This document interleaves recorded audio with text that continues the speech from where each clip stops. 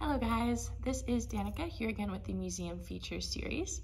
Today I want to go over a couple details about this 1965 Hus-Ski 600. Now first I want to talk a bit about the Hus-Ski Company. Hus-Ski was a Canadian snowmobile manufacturer.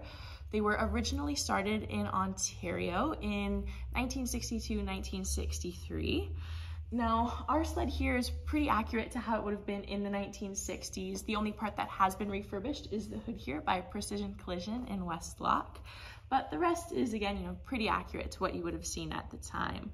Now, this sled was very regularly advertised as being for both work and play.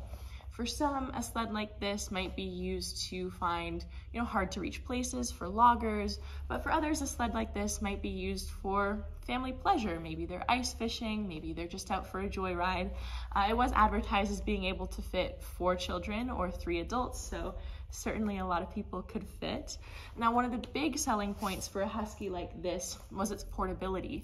You'll see here that the tractor side and the ski side can be separated in the middle here which meant that the sled itself could be put into the trunk of a large car, which is pretty different from today. You know, if you have a sled, it's likely you need a trailer or a large truck box to actually get the machine anywhere.